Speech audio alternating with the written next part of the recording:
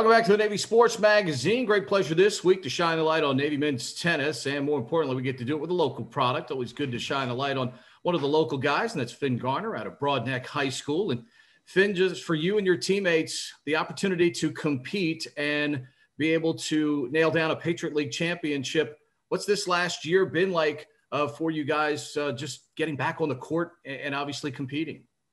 It really does mean the world um, just to be able to have an opportunity to play tennis. We were in our roots, rooms for four weeks, and it was just for me. It's just it's so nice to just get out of the the building and just be able to enjoy the weather uh, with my friends and just you know grind every day. That's what that's what that's what I live for. So.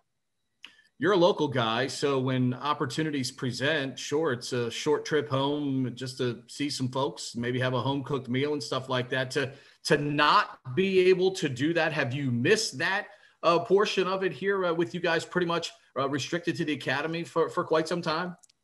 To be honest with you, Pete, not really. I tried to stay away from home as much as possible this semester. I was trying to really focus on my academics and my athletics and just, you know, forging those bonds inside the hall. That was something that I wanted to do.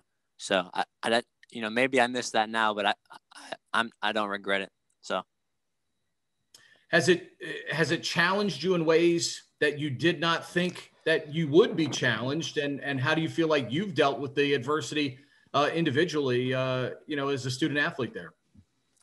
Uh, no, I don't think so. I, I think uh, there was a wall on Dewey Field by one the practice uh, soccer courts, and I was just able to go out during the ROM and hit against the wall with like a broken racket and a broken ball. But um, I just kind of tried to look at it with uh, it is what it is uh, standpoint, you know, I'm alive, I'm well, I got a roof over my head, food.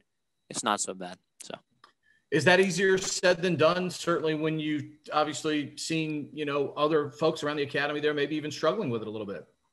Yeah, it is.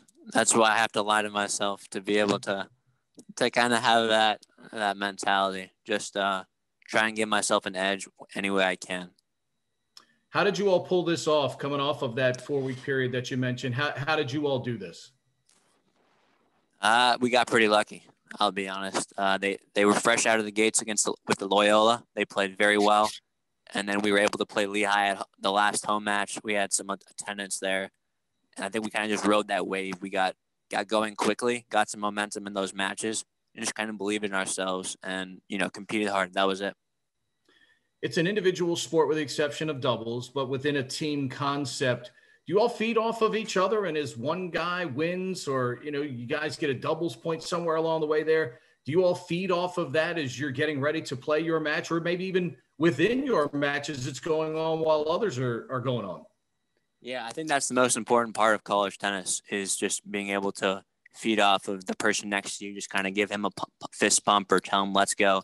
It just gets the energy going, gives you a shot to win the match. What's it like to be able to draw a three seed A and then obviously have a chance to compete with a program like Oklahoma State?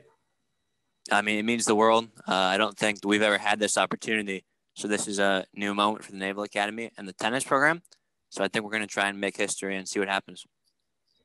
Obviously, the, the momentum of a Patriot League championship, does that carry over here uh, as you head to NCAAs?